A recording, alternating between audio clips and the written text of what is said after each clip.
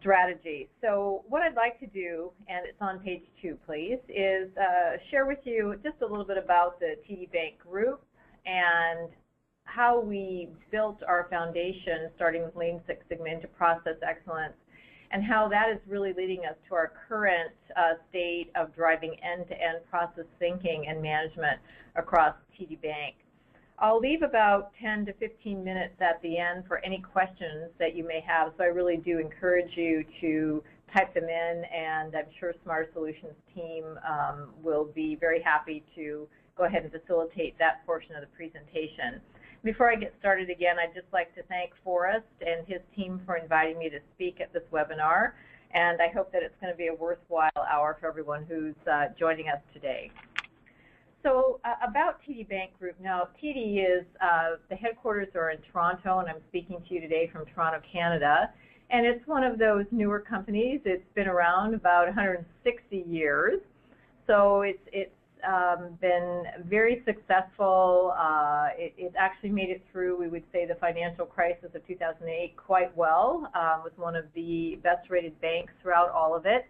Um, and I would say that today, um, just to share, there are more TD uh, branches in the U.S. than there are in Canada today, and that was uh, as recently as 10 years ago. We had no branches in the U.S. So today, uh, TD is the fifth largest bank in North America with 22 million customers worldwide. Our adjusted earnings last year were a little bit over $8 billion, and 80% of our earnings do come from retail. Now, the interesting thing about this slide is you see a picture of something called the J.D. Power Award.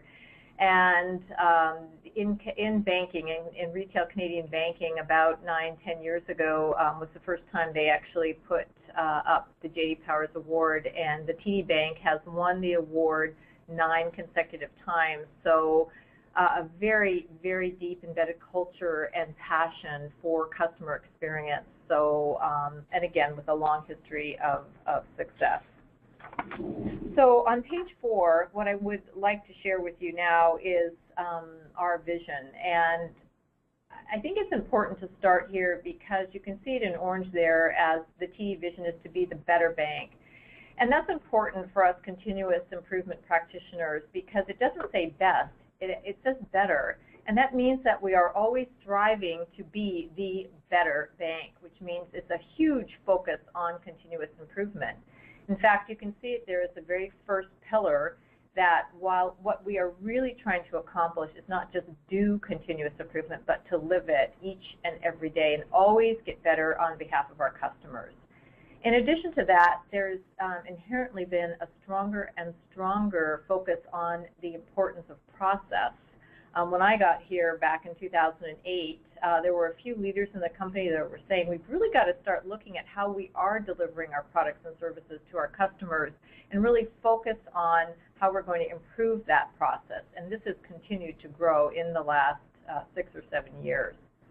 In addition to that, the words transparent value mean that we measure everything. Uh, we want to make sure that we really understand what's important to our bank and to our customers, measure how we're doing, so that we can truly deliver transparent value.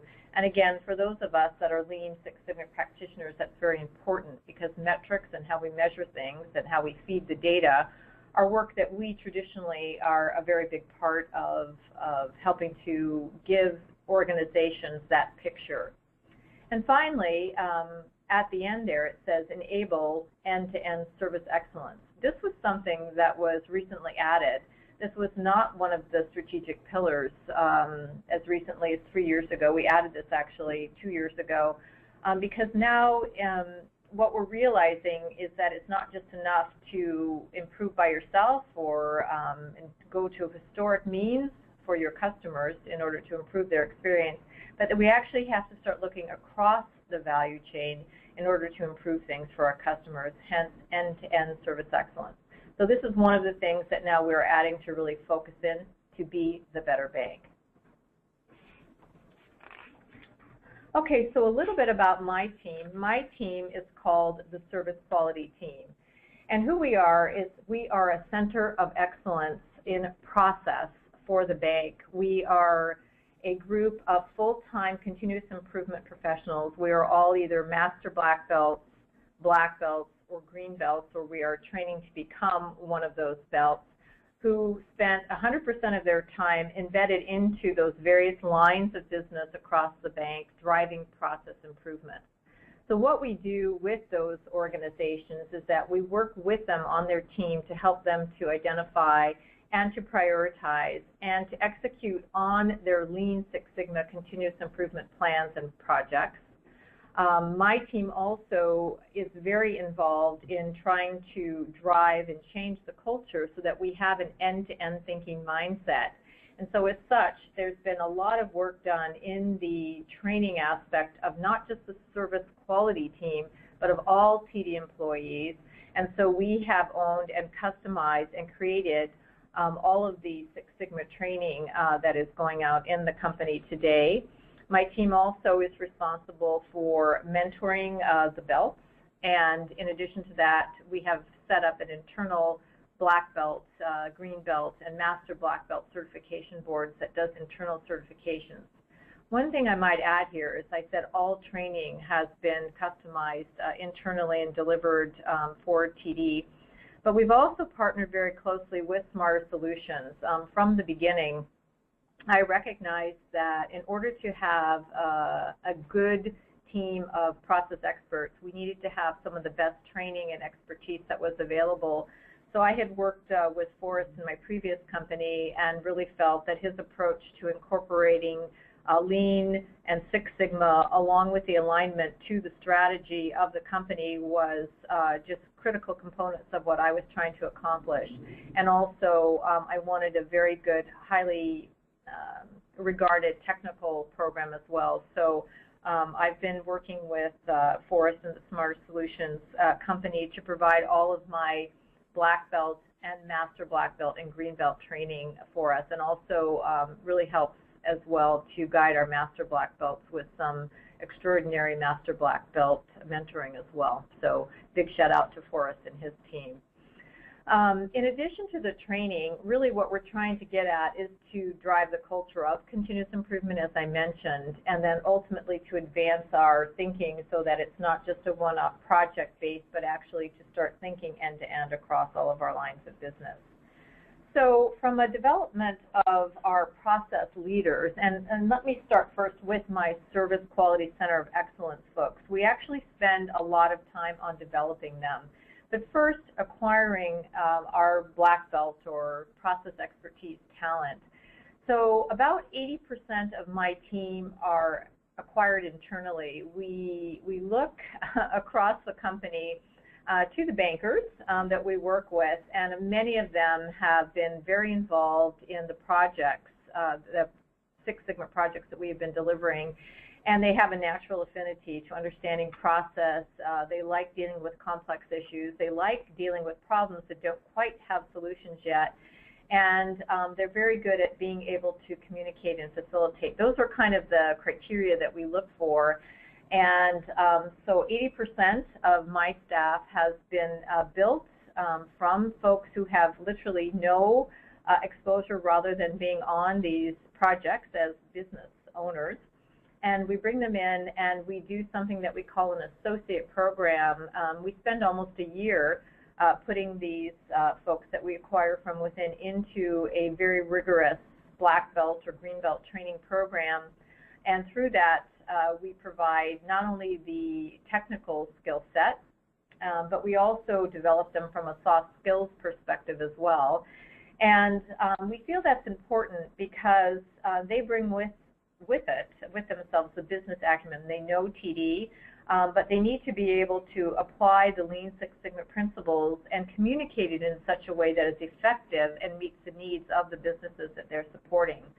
So in addition to our technical curriculum, we also spend a lot of time on what we would call the soft skills, which are things such as uh, impact and influence skills, practicing on executive communications, because what we find with our green belts and our black belts is many times um, they are assisting the business or leading in what we call the project report outs to all levels of the organization. This is one of the few times where you might have a junior manager actually reporting up uh, their findings up to the most senior vice president in the bank. And so we want to ensure that they are very effective uh, in their communication skills, along with being able to communicate uh, the benefits of the project, so the financial benefits, the risk avoidance. So we spend a lot of time training in that. Um, thought leadership, I already mentioned facilitation. So these are um, the areas that we have separate curriculum and ongoing mentoring uh, as well as the technical aspect. And the little honeycomb um, slide that you, or, or box that you see up there, these are activities that we do on a regular basis to provide ongoing support to our team in addition to the in-classroom training. We feel it's important to do things like um, share best practices, for example. So um, about once a month, we'll have one of our belts get up and talk about a project that they have uh, just recently delivered that has done something quite extraordinary to share with the rest of the team. Uh, we do tech talks, which are maybe we'll take a particular tool that we want to emphasize that month. And again, one of our staff members will give a tech talk um, to our, our team, and we actually open some of this out to the larger um, uh, TD environment as well.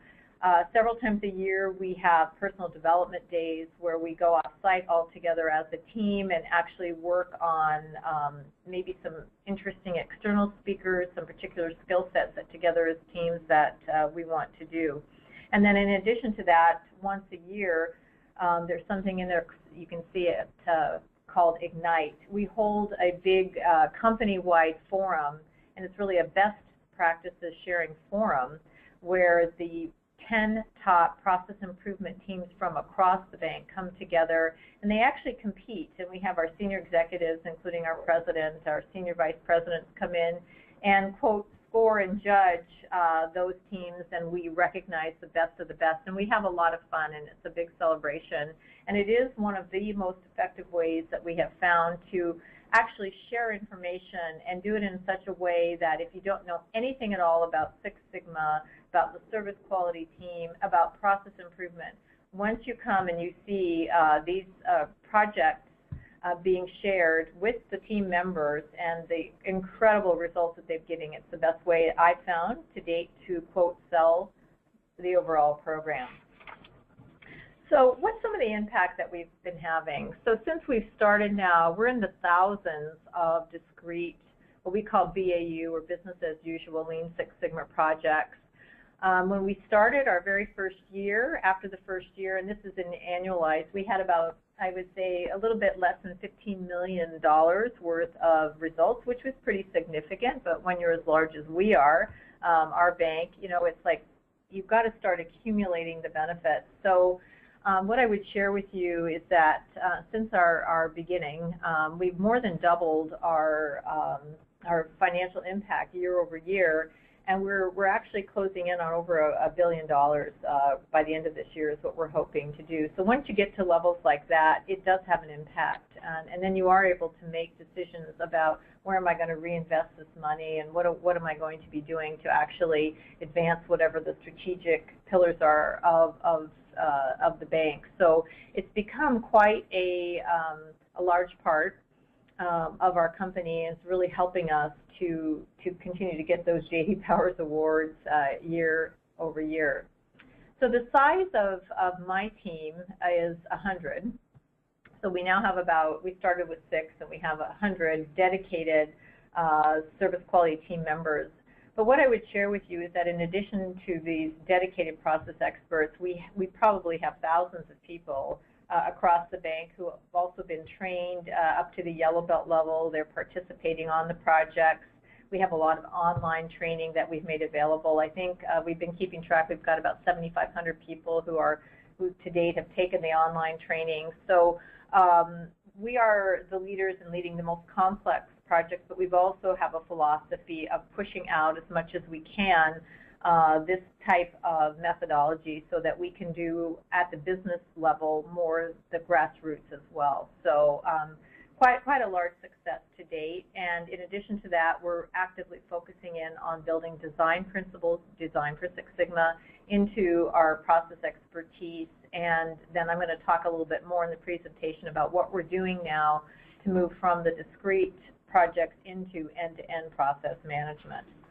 so how did we evolve? Um, so we started with a, a, very distinct focus. I think a lot of companies do, and uh, specifically when you're in transactional type services, non-manufacturing, um, you focus initially on lean. It's easy to take a look at something, what's value add, non-value added, what can we remove, um, and that's the initial focus for process improvement. But then, um, you know, when you're looking at the problems that the company is trying to solve for, you start saying, you know, there are a lot of things that having a process focus can really help you to improve. So very quickly, um, in addition to the lean, we started incorporating a lot of our expertise into things like moving uh, processes. So um, you could move processes because maybe you're reorganizing and you're bringing two discrete businesses together. Uh, maybe what you're doing is you're acquiring a business and you have to move processes from one business to another. Maybe there's um, an opportunity to do some labor arbitrage, and maybe you know we want to move some of our processes from Canada to the U.S. or U.S. back to Canada. All of those kinds of things are moving of processes, and um, you know, we do we do a big focus as well. Um, harder to do, takes more time, but also to embed the designing of processes as well into this. So we started DFSS again back in I would say 2009, 2010, and we've been keeping it up and slowly growing that and in, increasingly trying to embed that into our end-to-end -end process management. But anyway, so we, we, we're not just doing lean, we're doing anything that touches a process that requires uh, improvement and a focus on process is what my team is responsible for. And so um, you don't just jump from doing nothing with process to end-to-end -end process management. I, I, think if I look, I've attended quite a number of conferences and, and spoken at some of them. Um, it is unrealistic to expect, uh, you know, just to go from zero to 90 in, in um, two seconds. Um, you actually have to build a foundation of even understanding why is process important, uh, get some traction with actually getting some results so that you have your proof points, and then start um, really expanding the culture for continuous improvement through the training and getting more and more of those discrete projects and then beginning to look for opportunities to start linking those discrete projects together, and then to maybe rename uh, what you are to process excellence because that is what you're doing for for um, for the company, and then ultimately um, really start focusing um, on end-to-end -end process management which is linking it together. So that's really the, the steps that we have gone through um, to get to where we are today with our focus on end-to-end -end process management. And um, that little picture, and I'll talk more about that uh, under end-to-end -end process management, is that we actually now have created a playbook or a methodology and that was created by our team here. Uh, we started in 2013. We've evolved it last year, and so there is now an end-to-end -end process management methodology that is uh, the foundation of it is Lean Six Sigma. So that is what the bank is following today. But we have developed all of that in-house and really what we're trying to do is focus in on getting everyone to think about um, where they where they are in the value chain and what the inputs are that are coming into them and the outputs of what they're giving and really start optimizing across the value chain. So that's that's really what our focus is right now. I'm not saying we're all done with that, good to go, but that's uh, that's where we are at this point. I, I think I introduced that last year, um, so I'll share with you um, a little bit more about um, how far we've come and what we're doing.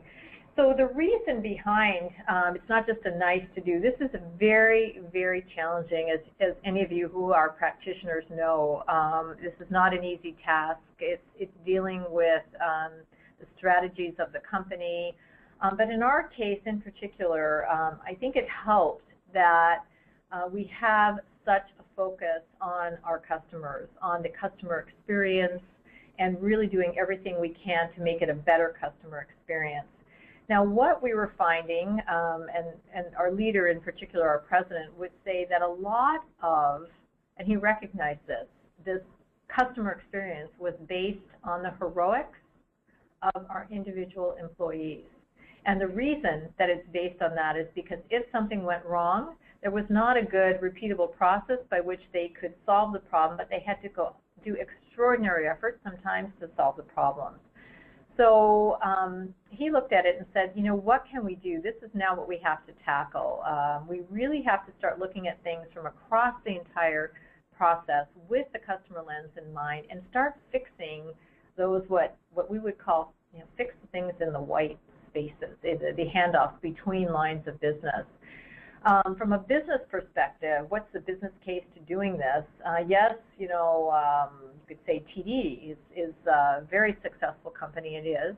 And I would just say for myself personally, you know, I happened to, uh, with the last two companies I was with, both times when they launched continuous improvement and Lean Six Sigma, it was because they were actually in a bit of a crisis. So they had to fix things, there was a business imperative.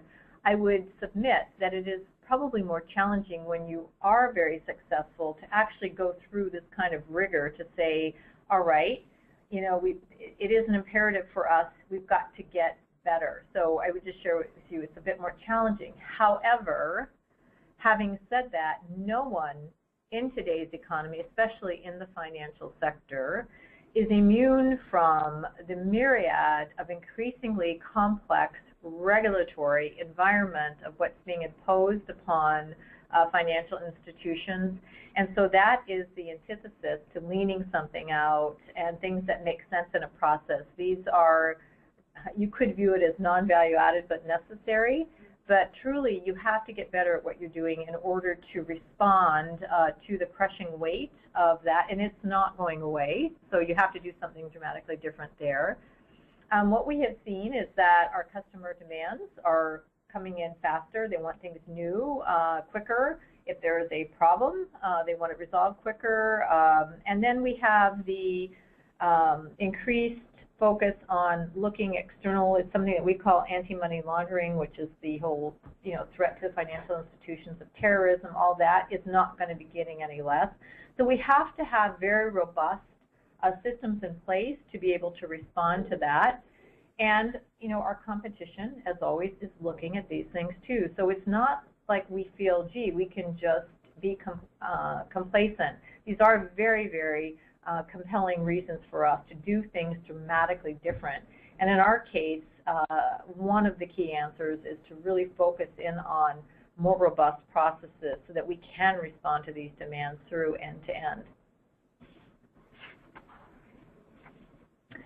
So again, I mentioned a lot of these um, already, but what we are experiencing or what we had been, and this should look probably pretty familiar to those of you who are uh, process practitioners, but in our bank, again, we would say, gosh, maybe initially a lot of the problems were caused because whatever we have up front maybe wasn't designed that well, and it was thrown into our branches and into our operating offices to just start, you know, working it. And we had to do a lot of rework. Uh, it's not past tense. We are doing rework, a lot of unnecessary handoffs, slowing down the entire process, errors that our customers are feeling. And as a result of trying to correct all those problems, losing a lot of, of um, you know, lost uh, potential revenue for, for the bank. So again, these are all uh, very, very compelling reason. And part of my initial work here that I had to do was actually to, to isolate and to show what was causing all of these things, and then through the process improvement work,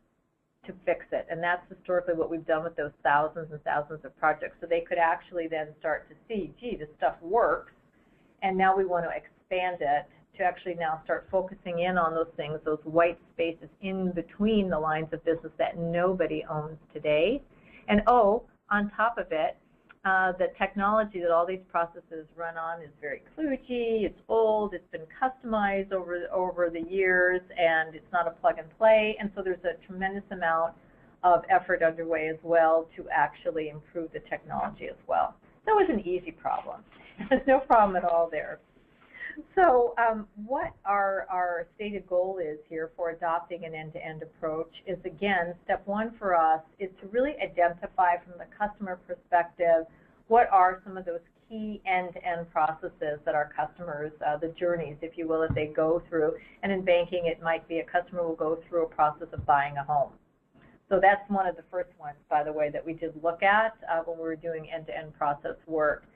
And then um, the next thing that we did is we said, okay, up until now we don't really have a clear owner for a process.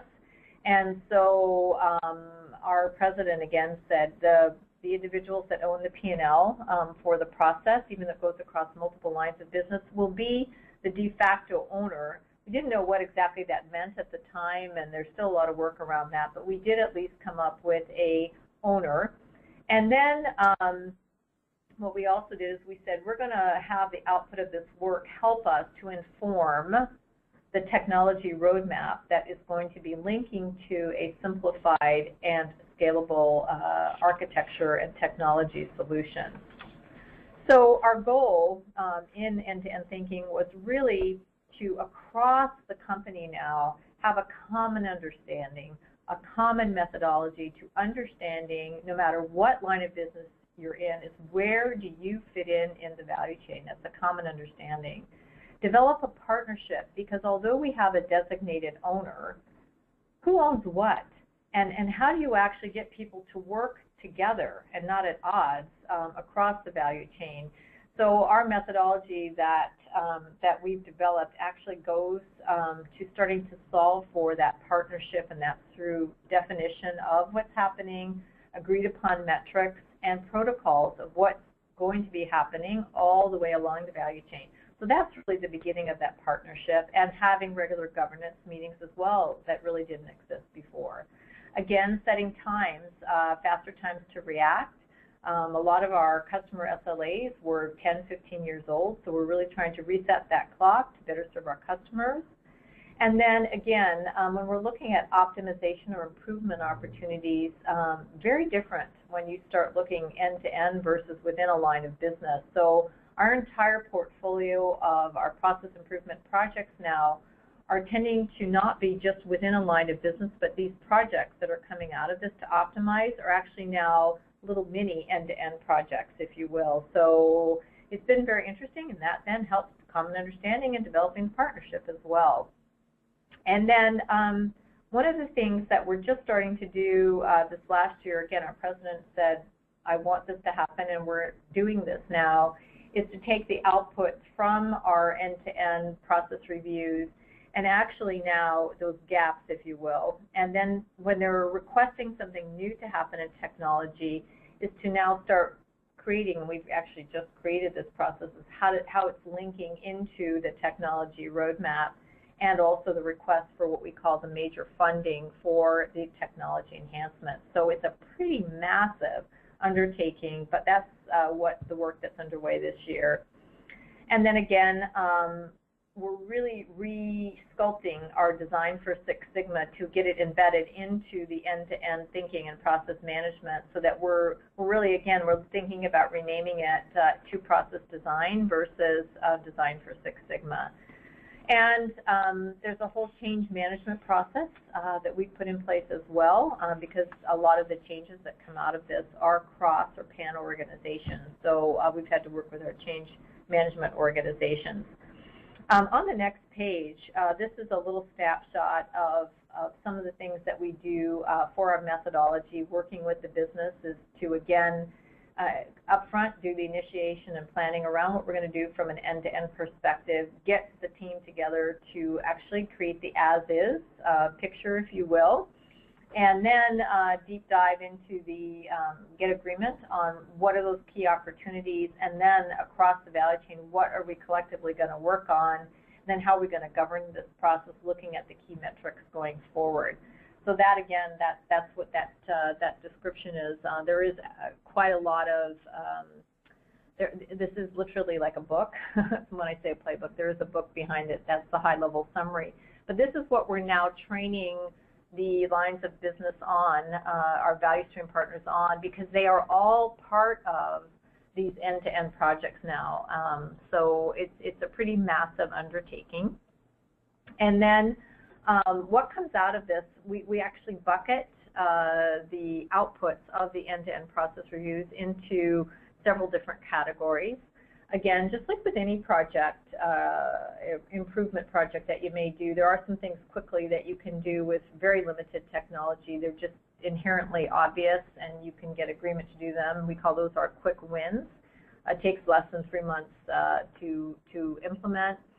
Sometimes you find uh, that you actually have to go away and get one of those, you know, DMAIC projects set up. And as I mentioned earlier, increasingly these are now we've got members of value uh, chain involved in these DMAIC projects versus a singular line of business.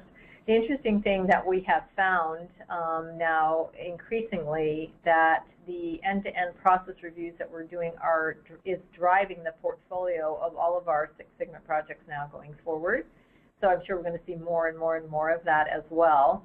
And then, um, as I mentioned, we are also taking the, okay, what does involve a technology enhancement? And we are now linked up to our technology organizations and um, really helping to put what's going to happen this year, next year, and the year after, and starting to build out their technology roadmap. So, you know, what's next for us? Again, um, we're going to continue to uh, prioritize and look at uh, the high impact end-to-end uh, processes that we're going to be doing our, our reviews on.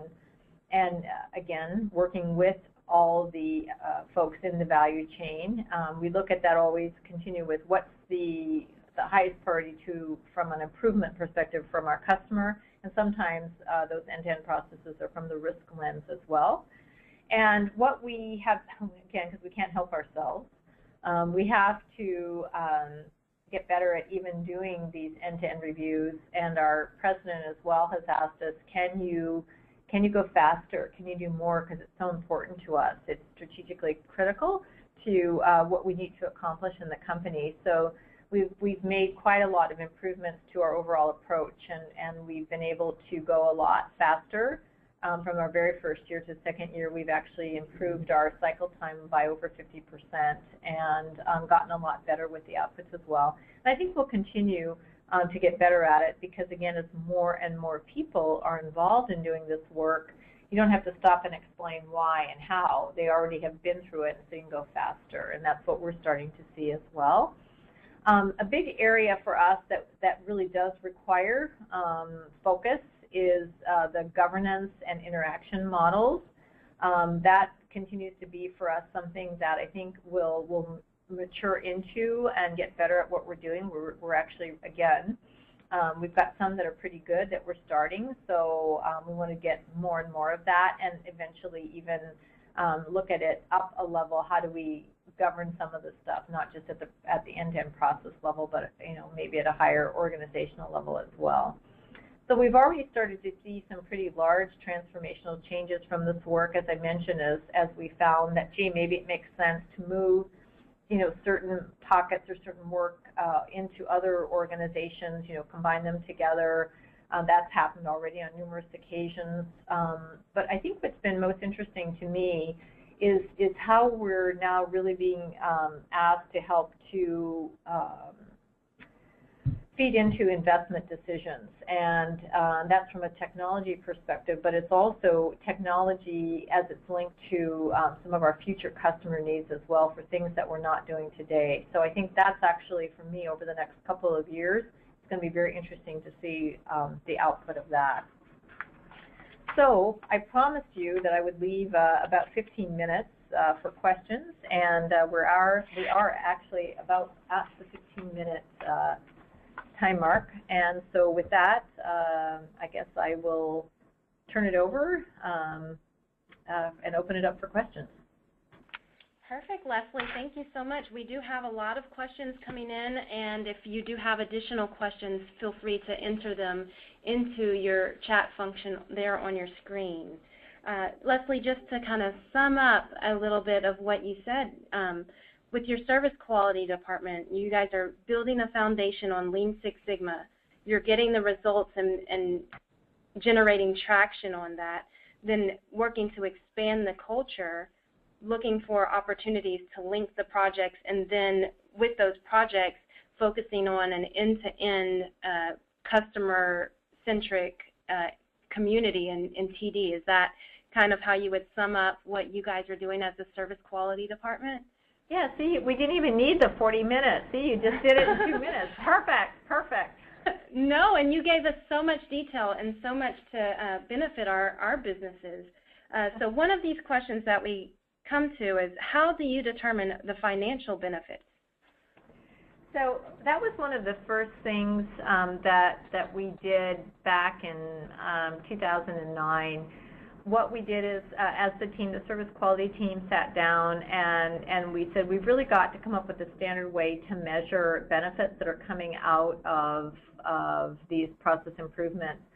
So we came up with a standard methodology. Uh, we have a couple different kinds of benefits. We have what we call hard benefits, which would be where you're taking direct cost out of uh, the organization as a result of your process improvement work. Um, and again, we, we worked with finance to say these are those categories that directly impact the P&L because they already have those, right? So if this project helps to do that, those are hard benefits. The second category would be things that you recognize that are um, what we call cost avoidance. And again, we have a quite a large um, definition of things that could be cost avoidance. But I, I would say um, things like, well, you know, um, we improved the process, so so maybe next year we don't have, maybe we had people we had to put under contract to do some of the the extra work. Well, we don't, we know we're not going to have to hire them next year, so that would be an avoidance of that cost could be on a risk uh, program, uh, gee, you know, we were, could have been fined for something, we improved the process, so, you know, that could be an avoidance there as well.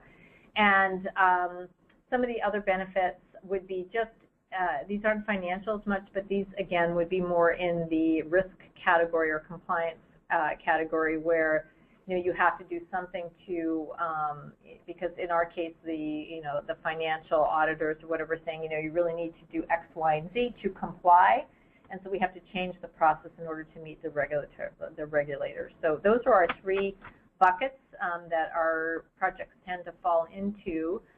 And then what we do is we got agreement with finance. We take a 12-month snapshot of those benefits, a run rate, and then we book the benefits in the year that the project um, actually is completed.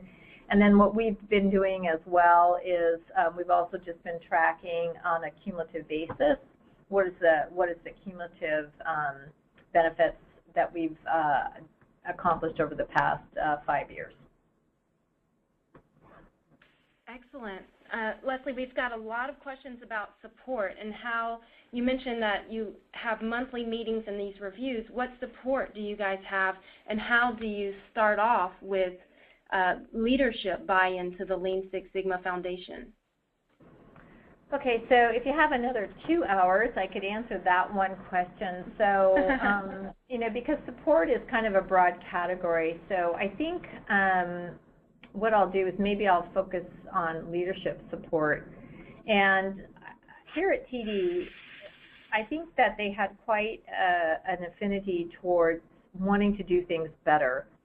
I, I believe that the executives had done research. They were seeing what were what was going on from a process improvement perspective. They had maybe they hadn't quite done it yet, but they knew that lean uh, was out there um, and was having some great benefits, and they knew they weren't lean. So um, they actually dabbled with um, you know process improvement uh, for a few years, I would say, uh, didn't get a lot of traction. Um, and so they were still, though, quite uh, quite convinced that it could help them uh, do better than what they were doing today. So the um, the president uh, of, of of the bank, along with one of the executive vice presidents, uh, which were the executive sponsors at the beginning, um, went out and basically said, let's find uh, you know somebody with some experience in doing this work and see if they can come in and really help us to start solving these problems. And so that's when I joined um, TD, and uh, and then we started very small, to be honest with you, because again, if you go back to one of my earlier slides, we had to set a foundation, and we had to get some proof points. Those were our first steps. And then um, it, this has never been, by the way, really a mandated program. It's been you know, uh, here's the problems you guys have to solve for, and then increasingly, what a number of the leaders have said is this this actually is a good way for us to solve those problems um, that the bank uh, lines of business is facing today. From a leadership perspective, though, as we've turned into the end-to-end process management, it requires a bit more than it's a nice to do. It, it does actually require a lot more commitment at the very top of the house. And what I would say is uh, where we are in our evolution in that is to really expand the support at the, when I say senior executive, I mean um, the people at the executive level, the president level, who own big, big segments, because uh, not all of them have been fully engaged in the end-to-end process. So we still have some work to do here, but we started with one very influential executive, and uh, he's been a very good sponsor for us. Excellent. So that's starting the foundation. This question says, how do you ensure that improvements are sustained, the ongoing support model for these projects? Um, because you uh, you have your measurements in place, so you can you can go back and you can you can tell if um, you know if, if if it's getting better or if it's getting worse. Great. How did you align black belt process expertise to determine end-to-end improvement needs? So again, because we've uh, been doing this for years here at the company, they were already supporting the lines of business, already embedded into the business. And then once the process owners were identified, the P&L owners, uh, then what we did is we just shifted the focus uh, of our black belts from doing discrete process improvement to supporting the end-to-end -end as being led by the P&L owners. So it was actually quite easy for us to do that. I don't know if it was easy. I guess I shouldn't say easy. It was it was quite logical in, in terms of how we did it. Great. Well, definitely good results here. So another question how important is it to you guys to have vendors equally committed to Lean Six Sigma?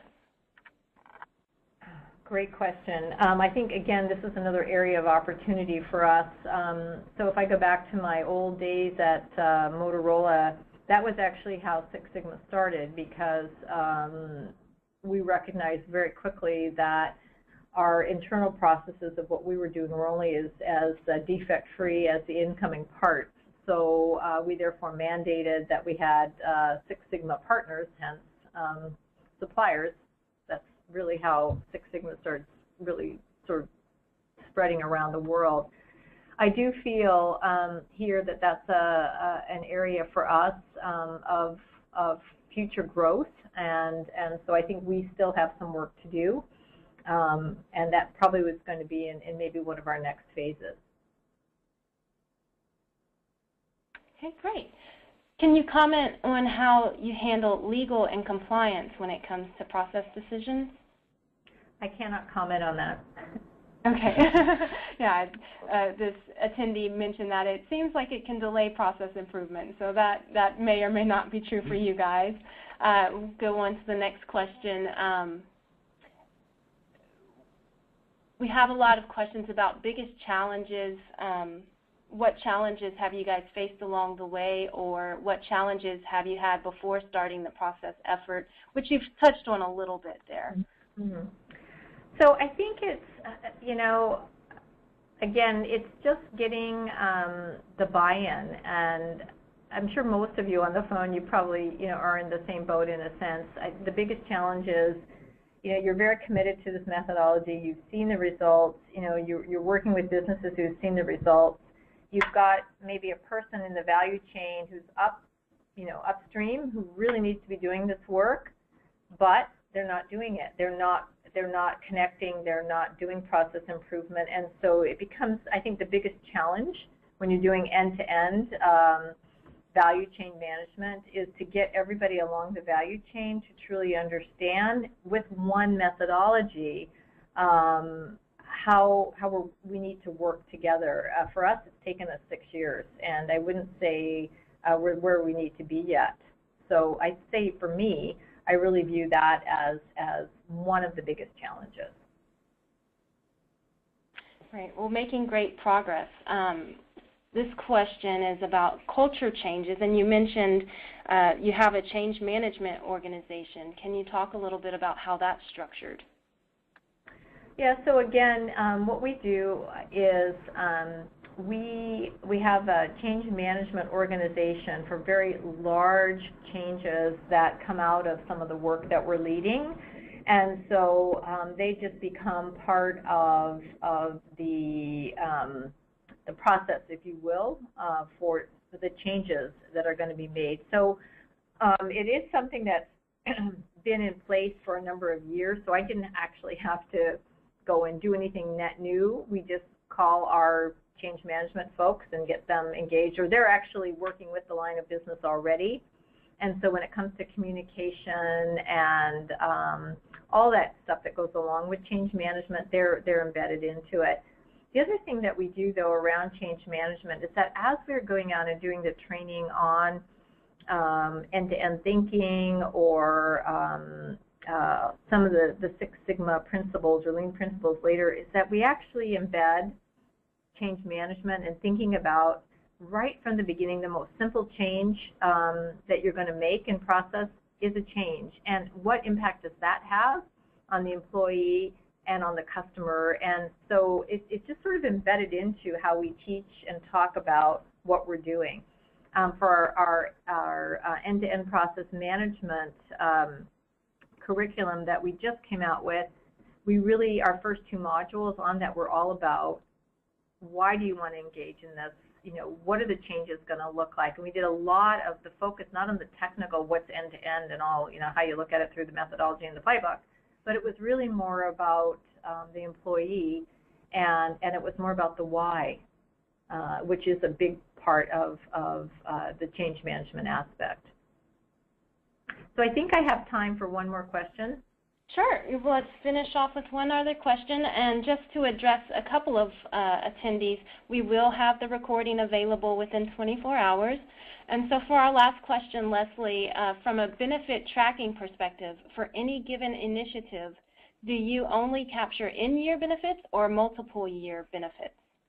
So again, I'll, I'll um, I did answer that earlier, but I'll just repeat it again. We actually do it two ways. Um, we we, within year, uh, when the project has completed, we take a 12-month annualized run rate and we book it within that the fiscal year, the year that the project is completed. And then just separately, we're also tracking the uh, accumulated benefits year over year uh, that we are generating through this work as well. Great. Well, Leslie, we all commend you um, for these great results that you've shared with us today. We thank you for your time and effort in putting this uh, presentation together, as well as your team. Uh, worked with a number of your teammates there who have made this presentation possible. So we, we thank all of you there at TD Bank. We congratulate you for your uh, your results and, and good standings there. Your president's asking, can you do more? Can you do it faster? you're you're going to be involved in big investment decisions in the future, and so we can't wait to hear more from you uh, and appreciate your time today. Any well, last? I, I think um, I'd just like to say thank you again for um, having me. Um, for this webinar. Uh, and again, um, you know, I, you know, you've been you've been very kind. Uh, we still have a lot of work to do here. Um, you know, we're we're excited about you know where we've gotten on the journey so far, but there's still a lot of a lot of room uh, for us to go to do some of these pretty massive changes, organizational changes that we're trying to do. Um, but we're, but we're quite excited, looking forward to the future. And again, I wanted to thank you and and Forrest and the Smarter um, Solutions team as well for all of your support over the last few years. We really do appreciate it. We love working with you guys, Leslie. Thank you so much, and thank you, attendees. We will make a recording of this available. Thank you. Thank Bye-bye. You.